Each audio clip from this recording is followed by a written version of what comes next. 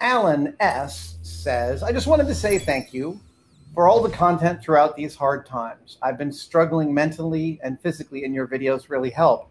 Alan, thank you. I appreciate that. Uh, I think we've all been struggling mentally. Uh, thank you. It's the reason that we're doing it. I mean, we're keeping the lights on and we're staying employed, and that is great. But frankly, all of us like look at the comments and the reactions to what we're doing, and we're all really uh, invigorated by the response from you guys. Uh, I watched Contact last week with Jodie Foster and William Fichtner and Tom Skerritt, Jake Busey. It's great. It's hammy. It's brilliant. It's beautiful. It's a. It's like a. You know, yeah. There there will be Robert Zemeckis retrospectives, and there are some some of his films I, I can't watch again, and many of his films I've watched many, many, many, many times because they're so great. And Contact is one I've seen a bunch. And there's this great bit in Contact, spoilers, uh, when she does meet the aliens and they've shown up to her in the form of her dad because they've kind of read her mind and given her a, someone to talk to she'd be comfortable with. And she said, How did I get here? Did you build the way that I got here? And he said, No. Those pathways were built long before we got here, and we don't know who built them. There's so much we don't know. This is an intelligent alien race that has sent this message to Earth to have them build this thing. And he says, There's so much we don't know. And in all this time, we've been looking around. The only thing we have found is each other. And I, I like, I burst into tears watching the movie at that because that's right.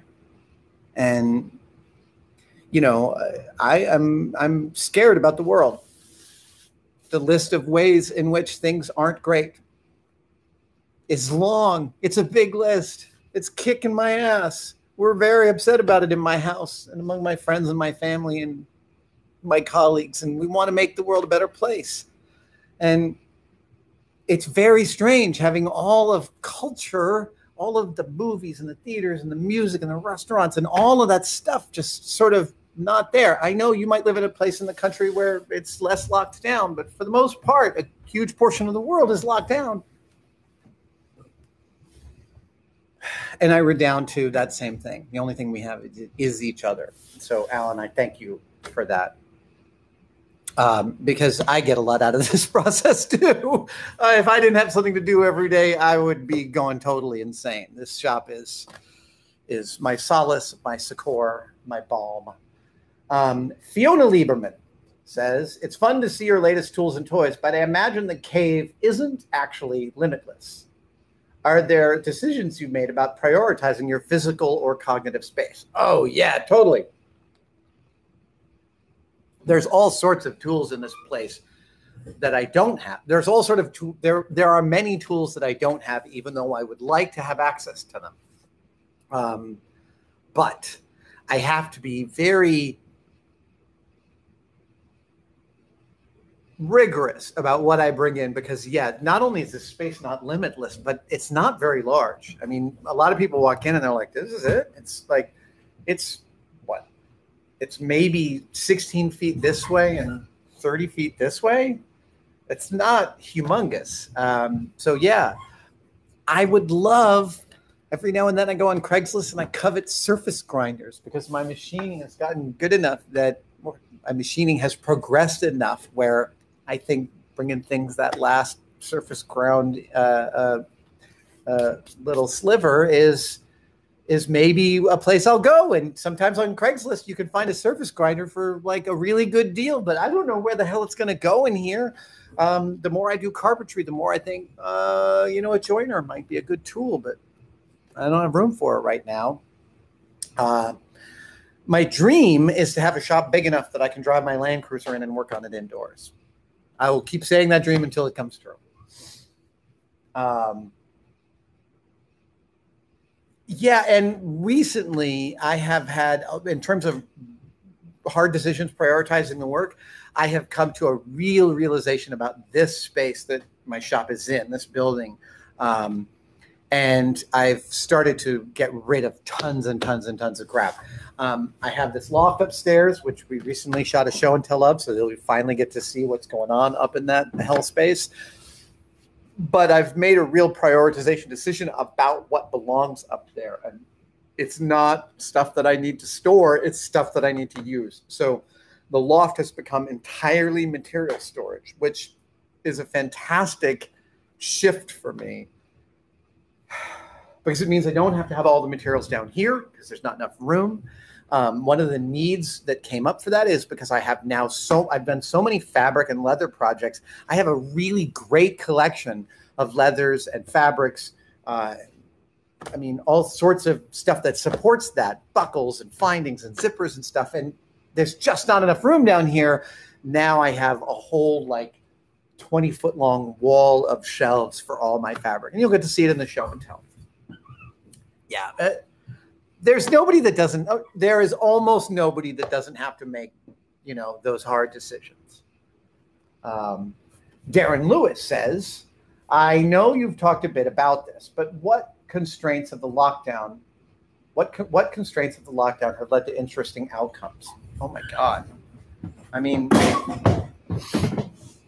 the most interesting early outcome for me was how beautiful and haunting a city is when it's practically empty or feels totally empty. And like, I guess three weeks into the lockdown in early April, um, an Italian restaurant in Hayes Valley that we like opened up for takeout, and we went down there.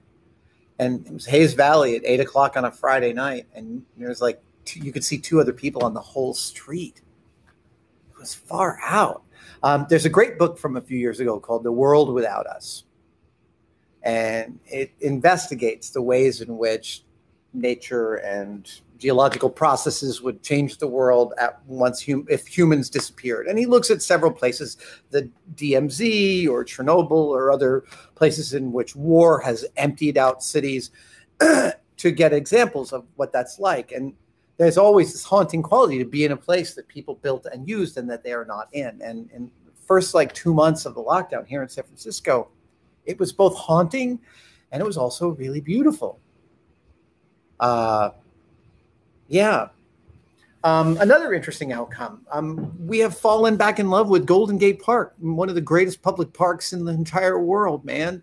Uh, we go there almost daily and take Maggie. Um, uh, yeah, we have a few meadows and pathways we like in Golden Gate Park. Um, it has an endless Golden Gate Park is seemingly endless. Like it is, it, it's a tesseract, man. It, once you enter it, you think you can look at a map and sort of see where everything was. And I've been going there for 30 years. And about three weeks ago, we discovered the casting pools where you can practice fly casting. I didn't know that existed there. Literally, we walked in and we were like, what? Who was hiding this the whole time? I have since found out that they empty out those casting pools once per year to clean them. And apparently, skateboarders freaking totally dig that week because they can skate in those pools. I like that. Mm. Besides that, professionally, the lockdown has been nothing but interesting outcomes. I didn't when the lockdown first happened, I thought, am I going to be allowed to leave my house to go the three blocks to the cave? And then, of course, yeah, I was. And then it was like, what do we do? I mean, the Norm set up a camera in the corner with a microphone, and I think I set it up and tried to shoot something, and I was like, this don't feel like this is no good. And then I picked up my phone and I started shooting, and was like, well, this is much better. And these guys were like, okay, put, here's some settings to choose, so it makes our editing easier. Um, and I didn't. I mean, uh, just to, again to some perspective, I built this shop in 2000, late 2010. That's when I first moved in here, and I was in production on MythBusters for another five years through the end of 2015. And in that time, MythBusters was a full time job. We shot 40 weeks a year, took two weeks off. Usually, when we took those two, we we shot 40 weeks a year. We shot for three month blocks and then we took two weeks off, three months, two weeks. And for those two weeks, we usually hightailed it out of town to get some rest and relaxation. And for those five years, I had this space while making Mythbusters. I got to spend maybe between one and five hours a week total in this shop, one hour a week in here. And still, we were able to get some tested videos done. First one day build was shot back around that time. Um, and now I'm in here 40 to 50 hours a week. Uh, it, it feels like a like an impossible luxury to get to spend so much time in here. And sometimes i am overwhelmed by possibilities. I pulled an old costume out yesterday because i felt like working without filming something. So i thought eh, let me pull out iron man mark one see if i can't make that piece that, that costume better. I've never worn it at a con. Yeah, let's see if we can uh, let's see if we can adjust it. Um, manuel criado asks do you have a story about the hat that you have on um, this is one of the. I have very particular sartorial ideas about the way men should dress. I know it doesn't seem like I'm the kind of person that would have those ideas, but but I do. I, I like dressing in a particular way. I dress in a particular way when I go out. I have a uniform on a daily. Stay right there. Now, I have a uniform on a daily basis, which is blue jeans and sneakers or Blundstones and a t-shirt. Um, and in general, I think that when I see a lot of men in baseball caps, they look like boys. They look like young boys, and I, I just have an inherent difficulty with that. I, they can dress however they want. I'm not judging anybody. I just don't think that works for me. And I have some other baseball caps, and when I put those baseball caps, I, I look like a boy. And when I put this one on, I feel like I don't. And you may think I do. That's fine. I just feel like this hat sort of fits me, fits my personality. And by the way, I have like the most intense COVID hair. Um, yeah, look at this. Look at that. And I ran, I ran so far away. I just ran. Yeah, so I'm covering over my COVID hair. Oh my God, I look like Wave. Wave, I say that with love. You've got the greatest COVID hair, man. Um, I'm getting a haircut tomorrow. It's been a long time coming, man. I can't stand it when it gets all puffy here and I start looking like Gary Oldman's Dracula without it actually being Gary Oldman.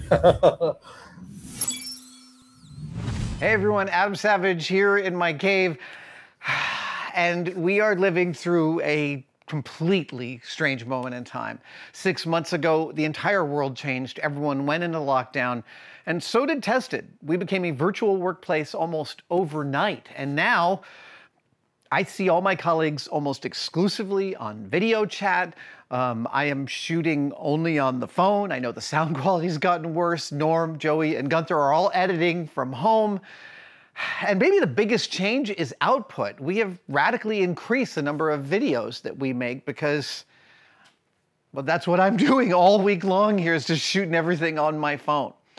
And eventually the world will return to normal, but one of the things we want to keep up is the pace of videos that we've been releasing. We've been ecstatic about your feedback about this, and we want to keep it going, but in order to, we need to ask for your direct support. And so I'm here today to announce Tested Channel membership.